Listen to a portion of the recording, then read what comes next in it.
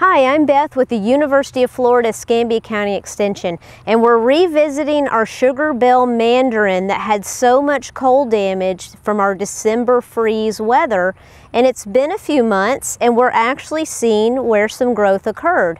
Now remember this was a young plant so we knew it was going to have some damage but the important thing for your home citrus now when you're thinking about where to prune is you really need to locate where the graft is on these citrus plants because remember, it comes in with a nice rootstock that's a different selection of citrus and also the one that you want that has the desirable fruit.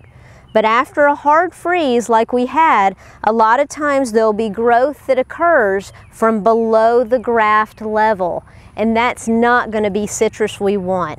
So anytime you see, for example, this nice vigorous shoot that's growing below our graft, we're going to have to prune that off. So look carefully. If you need help, you can send us a picture of your tree. We'll help you determine where to prune and look for that graft on it.